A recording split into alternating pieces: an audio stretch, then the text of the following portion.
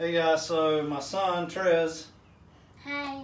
he always asks me, Daddy, why do you carry so much stuff? So I want to do a quick uh, pocket dump video. I've shown some stuff in the past.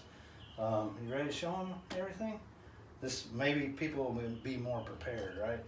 Okay, so my everyday carry is a Glock 43 with a plus two Taran Tactical reinforced holster. Back pocket, we'll start, start with the back pocket. My defensive flashlight is a Surefire Tactician designed by Tactical Response James Yeager. A little uh, shock bungee cord, my buddy Carson taught me that. Um, beside it, in my back left pocket, is a tourniquet.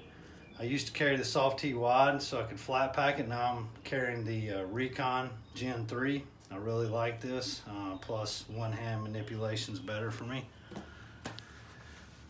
Back right pocket, I've got an SOE wallet. Um, this is a mini IFAK. It's got a couple packs of combat gauze, a compression bandage, some gloves, and makeshift uh, um, chest seals as well as a seatbelt cutter. I've got a little video on this. All right, front left pocket. Keep money, which I don't have much. You spent it all today, didn't you? and I have my little SOE credit card wallet. Keep my ID, credit card. Also in my front left pocket, I keep a spare mag. Um, Taran Tactical Plus 2. The main reason I carry a spare mag is in case the gun malfunctions. Uh, that's usually your failure point on a gun. Front right pocket. Keep a knife. I've been carrying this Emerson E-Tac for a while. Ernie Emerson signed that for me at Blade Show. My secondary light, you should have a secondary light. This is more of like a utility light. I just got this Olight, so I'm trying it out. So far, it seems awesome. Have a bottle opener made by Moose Knuckle Designs. It's the number one SOE.